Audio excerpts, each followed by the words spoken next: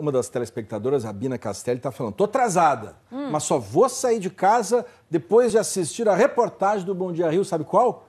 Do salvamento do cachorrinho. Foi, gente, foi um resgate emocionante.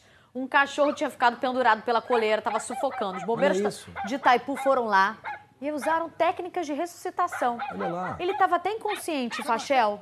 E aí fizeram ali a massagem cardíaca, os filhotinhos que estavam em volta ali, desesperados, esses latidinhos todos, Olha olha, isso, lá. olha. Os filhotinhos, angustiados.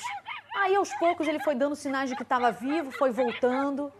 Olha que bonitinho, gente. Realmente foi um Olha aí. resgate muito emocionante. São anjos da guarda mesmo, São né? A gente tem anjos. o, o- nome dos Tem, bombeiros? tem sim. Olha, é o bombeiro soldado Érico, o soldado Silva e o soldado Iloveras.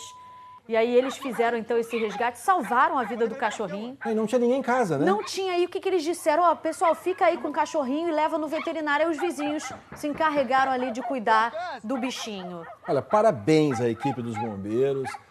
Olha, é emocionante, é emocionante ver os filhotinhos em volta É, ali. É. Olha, parece que eles estão pedindo ajuda. Por favor, por Isso, favor, ajuda salva, nossa... salva nossa mãe. É, salva nossa mãe. E foi É, salva. foi. E foi- olha, parabéns aos bombeiros. Uma bela história na manhã dessa segunda-feira. A gente precisa dessas histórias. São histórias que inspiram, né? E Tem você ainda. esperança, né? Tem Com esperança. certeza, muito bonitinho. Agora teve